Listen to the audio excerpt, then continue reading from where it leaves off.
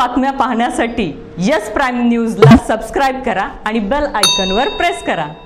पंढरपूर शहर police station. इथूनच शहरातील गुन्हेगारी संपवली जाते तर सामान्य लोकांना न्याय दिला जातो. आणि गुन्हेगारांच्या मुसक्या देखील इथूनच आवडल्या जातात. परंतु मागील काही दिवसामध्ये पाहिल्यास आपणाला एक गोष्ट आवर्जून पाहता येईल की पोलीस स्टेशन समोर जाणाऱ्या प्रत्येक नागरिकांच्या मनामध्ये एक प्रश्न खटकतो. आणि तो म्हणजे पंढरपूरचे शहर पोलीस स्टेशन वाळू वाहनाच्या गारड्यात का? पोलीस स्टेशनच्या आवारात पाहिलं तर इतर गुन्ह्यातील वाहने दिसून येत नाहीत परंतु केवळ वाळूचीच वाहने मोठ्या प्रमाणात दिसतात.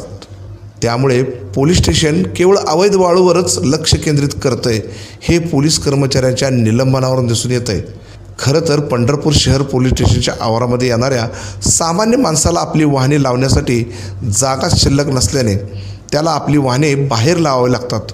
तर अशा बाहेर लावलेल्या वाहनावर वाहतूक पोलीस कारवाई करतात. त्याचबरोबर याच पोलीस स्टेशनच्या आवारामध्ये पती पत्नींचे वाद मिटवण्यासाठी महिला समुपदेशन केंद्र असून हे केंद्र देखील वाळू वाहनाच्या गारड्यामध्ये असल्याने या समुपदेशन केंद्रामध्ये जाण्यासाठी लोकांना रस्ताच राहिला नाही.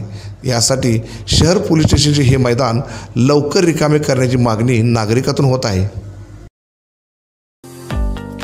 आम्ही जपतो आचार शुद्ध विचार शुद्ध थेंबा थेंबात शुद्धता शुद्धतेचे संस्कार. हीच आमची ओळख म्हणजेच संस्कार दूध डेअरी.